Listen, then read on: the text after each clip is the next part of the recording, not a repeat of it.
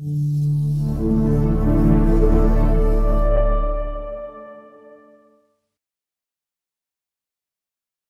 purpose of making WaveOne gold was really to produce a little more minimal shape in the body of the canal.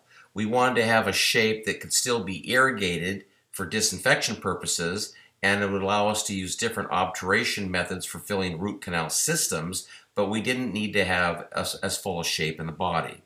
The WaveOne Gold family of instruments can address a wider range of anatomical cases, which is very useful for general dentists when they're treating the whole range of teeth uh, with emphasis on the maxillary anteriors, which have bigger, wider systems. The performance need to be improved, and we could do that as we'll look at through the design and the metallurgy.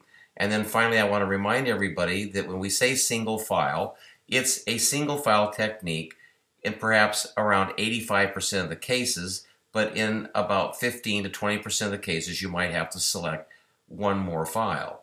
But mainly, it's dominantly a single file, which means it's a single use file because a file that does a lot of work, one single instrument, in a molar, for example, that might have three or four canals, we should expect that its blades are probably dulling along the exercise of shaping, and that means that if you try to use it on another tooth, on another patient, you're not going to have the same performance. So it is really a single file, single use method.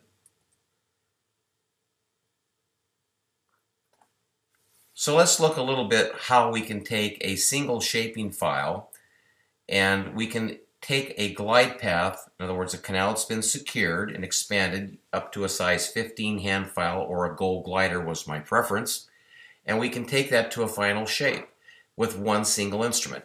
We can do this because of the design, the metallurgy, and its unique movement.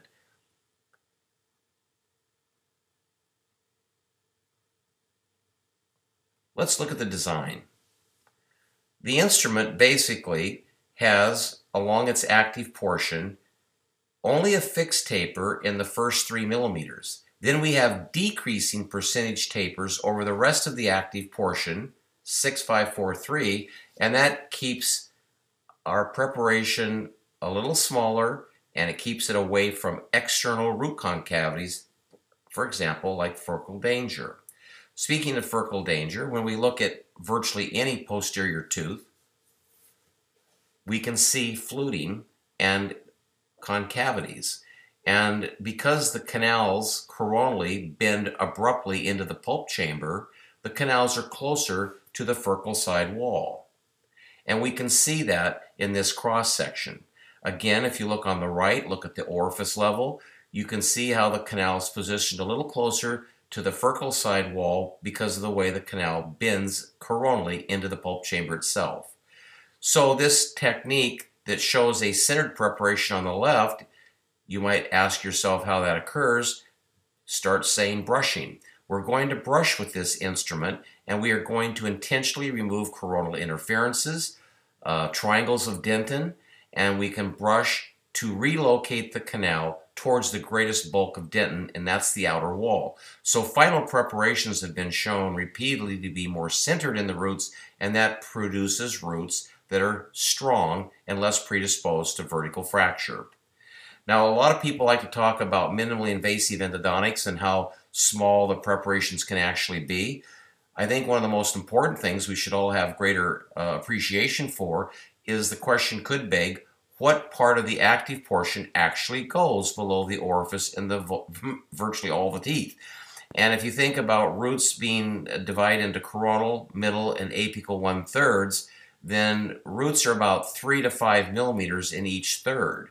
So actually only about 9 to 12 millimeters of a file usually progresses below the orifice. And at that level, the WaveOne Gold file is a very modest 85 hundredths of a millimeter and 1 millimeter. That's pretty conservative, but yet still allows us to have active irrigation methods and able to fill root canal systems. Let's look a little bit more at the design. You know, when you build files with a group, a team of co-designers, doctors, endodontists specifically, we also need a lot of help from engineers, and I'd like to acknowledge Gilbert Rota, the chief engineer at uh, Dentsply Sirona in Ballaigues, Switzerland at the factory, it was his idea to consider an alternating offset machining method. And you can see the dashed lines going across the schematic, but those are representing one millimeter. So basically what we're saying is at every other millimeter, the file has two or one points of contact. You can notice that the cross section is different than the old WaveOne. It's an 85 degree parallelogram, but what that means is there's two points of contact, and then if we move up the file one millimeter, there's one point of contact, and then two, and then one. The two points of contact keep the file centered in the root, but in between the two points of contact, alternatingly, we have one point of contact.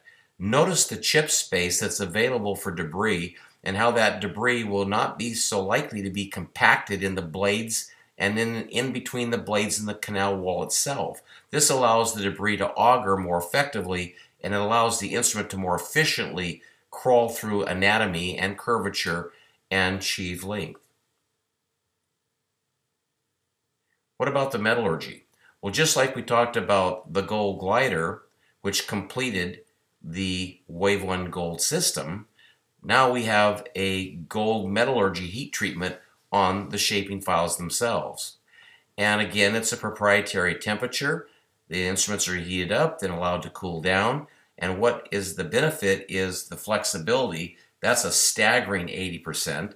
And the resistance to cyclic fatigue in this case is 50% more than its predecessor. And then finally, this was an unexpected, it's almost by serendipity. We didn't expect less shaping time, but that was the outcome. So the less shaping time is related to an improved cross section. It's related to a file that's very uh, flexible and can move through curvatures with greater ease, and that shows up to benefit patients and doctors alike. Well, the movement is exactly the same as its predecessor.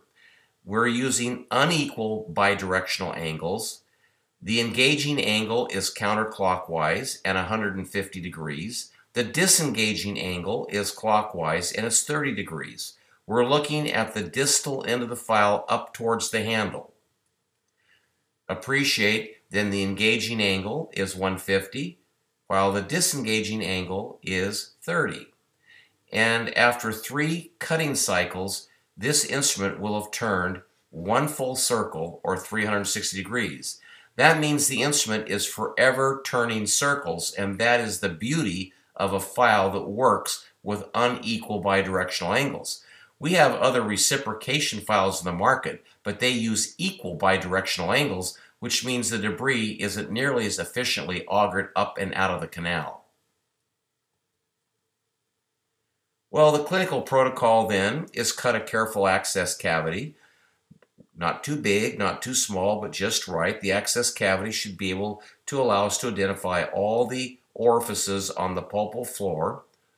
And once we have the access, we need to take a TEN file and work it to length with intentionality.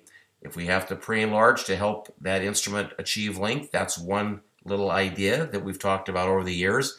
You could go to an 08 or a 6, but usually pre-enlargement helps uh, the TEN file get down through the canal, and that's when we get working length. Remember patency is critically important, and then to check the glide path by pulling the file progressively in longer strokes out of the canal to see if it can slip, slide, and glide.